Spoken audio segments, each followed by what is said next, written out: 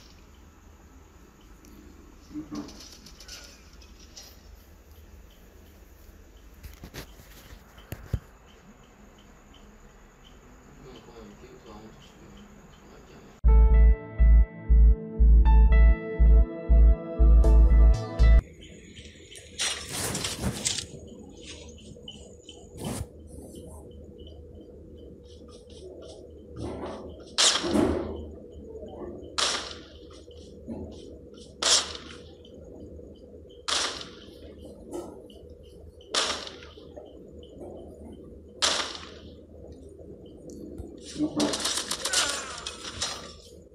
what's up, guys? Check out this app that's trending. It's called Status and Media Downloader. Download all media with one click.